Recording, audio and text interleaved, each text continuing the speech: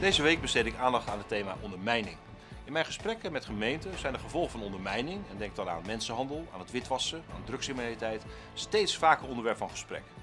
Zo wordt 24% van de burgemeesters bedreigd door criminelen en krijgen decentrale politieke ambtsdragers helaas steeds vaker te maken met agressie en met geweld.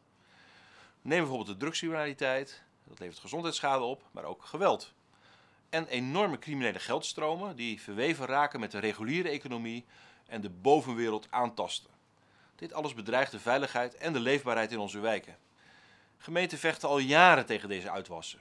We zagen bijvoorbeeld hoe gemeenten in Gelderland Midden daarin regionaal samenwerken met een speciaal ingericht ondermijningsteam. Die aanpak ondermijning is een enorme opgave, maar het tijd lijkt helaas nog niet te keren. In de Rijksbegroting 2022, in het coalitieakkoord, zijn wel belangrijke stappen gezet. Het kabinet investeert 434 miljoen per jaar in die ondermijningsaanpak. We zien daarvan al positieve ontwikkelingen. Jeugdboa's die voorkomen dat jongeren afglijden, het weerbaar maken van gevoelige bedrijfstakken zoals notariaat, de logistiek en boerenbedrijven. Zo'n investering levert meer op wanneer we de aanpak effectiever besturen en de samenwerking verder verbeteren. Daarna kan het Strategisch Beraad Ondermijning als het interbestuurlijk adviesorgaan voor de minister van Justitie en Veiligheid een grote bijdrage aan leveren.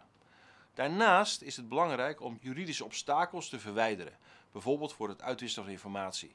Diverse ondermijningswetten wachten nog op goedkeuring. Ook gebrek aan capaciteit is een probleem. Gemeenten hebben meer mensen nodig voor onderzoek en ook voor handhaving. Onze oproep is daarom: maak haast. Maak haast en maak ook beter gebruik van gemeentelijke kennis en gemeentelijke ervaring. Want uiteindelijk vinden zowel de misdaden als ook de kwalijke gevolgen daarvan altijd plaats binnen gemeenten. Tot volgende week.